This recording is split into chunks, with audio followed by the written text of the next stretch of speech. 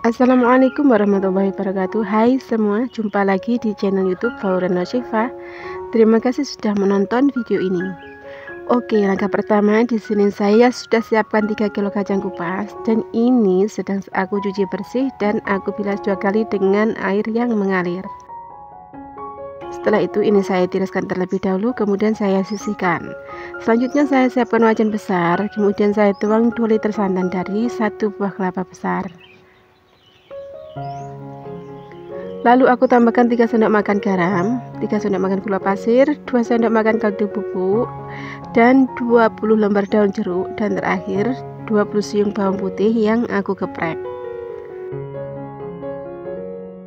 Ini saya aduk-aduk sampai santan mendidih dan ini aku gunakan api besar ya.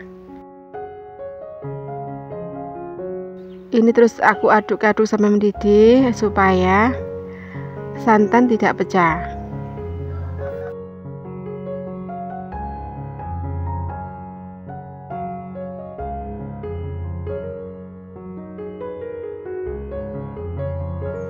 Nah, begitu santan mendidih, langsung aku matikan api kompornya dan terus aku aduk untuk menghilangkan uap panasnya.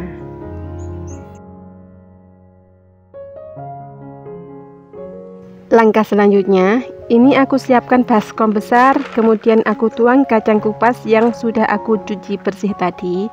Lalu aku tuangi santan yang tadi aku sudah didihkan terlebih dahulu.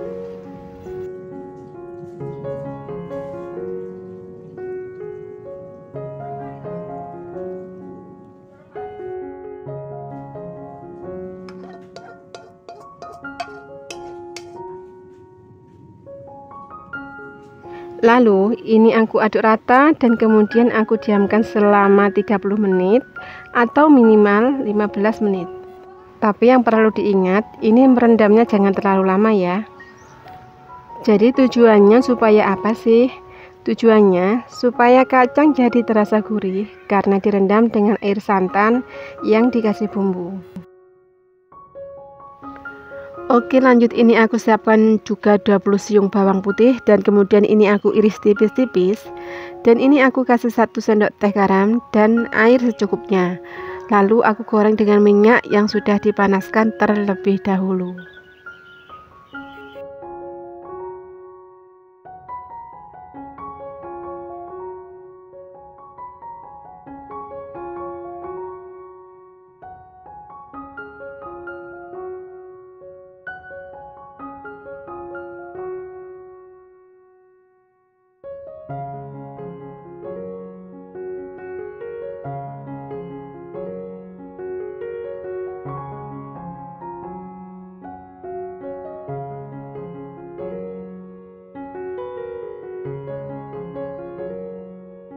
dan ini aku menggorengnya sampai warna kuning kecoklatan ya.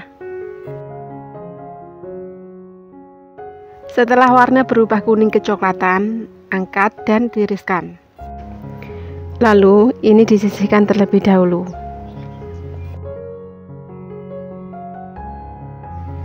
Oke kembali ke kacang tadi ya. Ini setelah setengah jam aku rendam dengan santan kemudian ini aku angkat dan aku tiriskan setelah itu, aku panaskan minyak goreng secukupnya dan sudah aku tes suhu panasnya dengan cara memasukkan satu kacang ke dalam minyak. Setelah benar-benar minyak panas, masukkan kacang, goreng sampai kacang terasa ringan saat diaduk dan warna berubah kuning kecoklatan.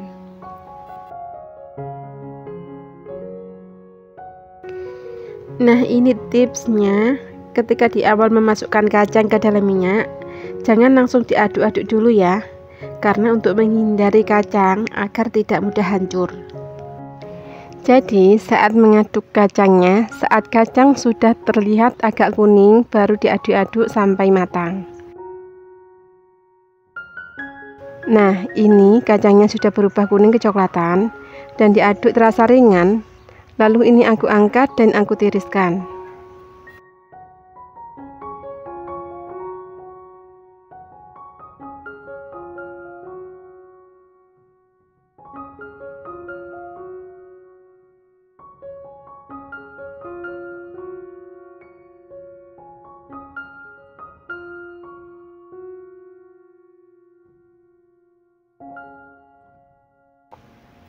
Ulangi hal yang sama sampai selesai.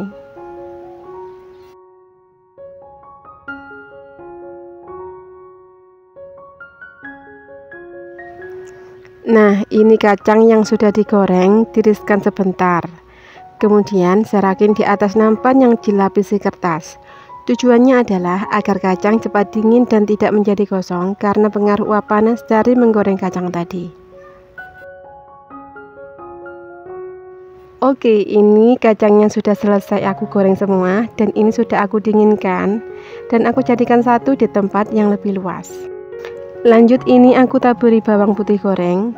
Karena ini kurang terasa asinnya, ini aku tambahin lagi garam secukupnya sampai mendapatkan rasa yang pas.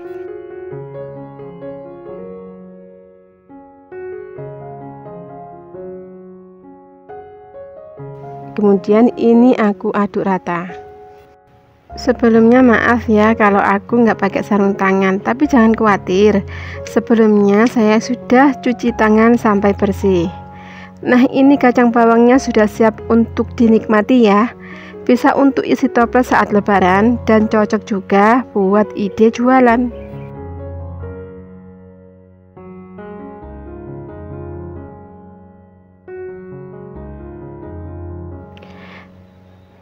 Nah, cukup mudah cara buatnya bukan? Teman-teman juga pasti bisa membuatnya sendiri di rumah. Jadi nggak harus beli di luar ya.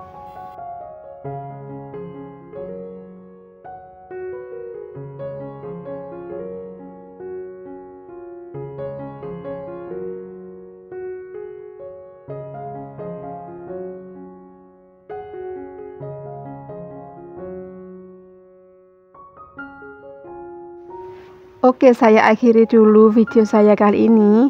Semoga video ini bermanfaat dan menginspirasi teman-teman di rumah. Buat teman-teman yang baru menemukan channel saya ini, jangan lupa tekan tombol like, subscribe, dan aktifkan lonceng notifikasinya agar kalian tidak ketinggalan setiap saya upload video-video terbaru. Dan saya ucapkan terima kasih juga kepada kalian yang sudah support dan subscribe channel ini. Sampai jumpa di video saya selanjutnya. Terima kasih. Wassalamualaikum warahmatullahi wabarakatuh.